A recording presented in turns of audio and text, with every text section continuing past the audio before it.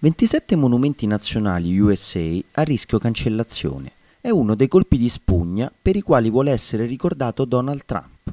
Il presidente degli Stati Uniti, nei giorni scorsi, ha firmato un ordine esecutivo nel quale si legge il suo intento di azzerare, ridurre di estensione o rimodellare per topografia una lista di national monuments che va dallo Utah alle Hawaii, dal Maine alle isole delle Marianne.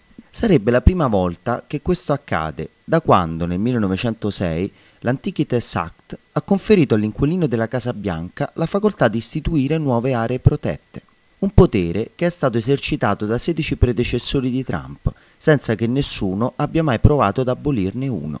Al punto che tale facoltà del primo cittadino americano viene messa in discussione a livello costituzionale dagli oppositori dell'iniziativa, che naturalmente non mancano.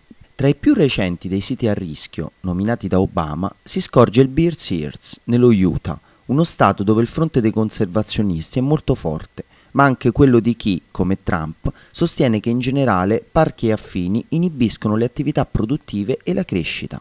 Tra i nomi illustri, anche per il turista di oltreoceano, il Grand Staircase Escalante, ancora nello Utah, il Vermilion Cliffs, Arizona, e il Carrizo Plain, la piana subdesertica californiana che dopo inverni particolarmente piovosi, come l'ultimo, fiorisce creando effetti cromatici inverosimili.